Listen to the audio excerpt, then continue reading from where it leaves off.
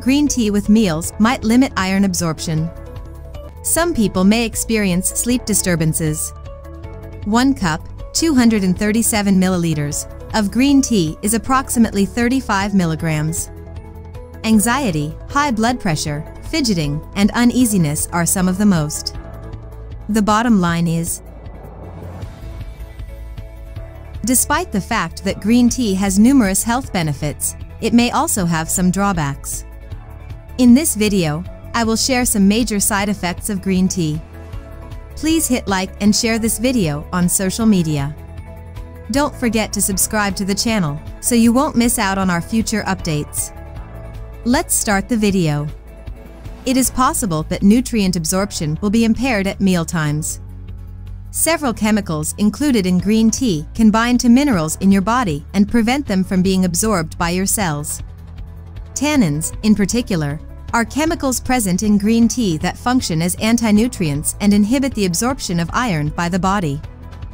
Furthermore, research has shown that the polyphenol epigallocatechin 3-gallate EGCG found in green tea can bind to minerals such as iron, copper, and chromium, inhibiting their absorption into your body by your body.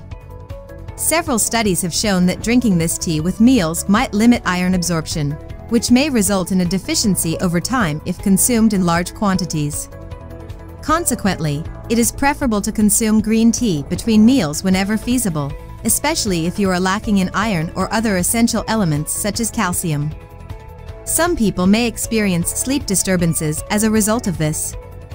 The caffeine content of 1 cup, 237 milliliters, of green tea is approximately 35 milligrams.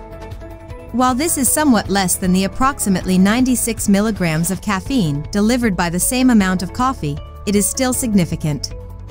Those who are susceptible to this stimulant may nevertheless experience negative side effects from it. Anxiety, high blood pressure, fidgeting, and uneasiness are some of the most common negative effects of excessive coffee usage. Caffeine, on the other hand, can produce sleep problems even when eaten up to six hours before bedtime. The consumption of green tea should be avoided by those who are allergic to any of the components included in the beverage. In persons who are sensitive to caffeine, caffeine is the major ingredient in green tea that triggers allergic responses.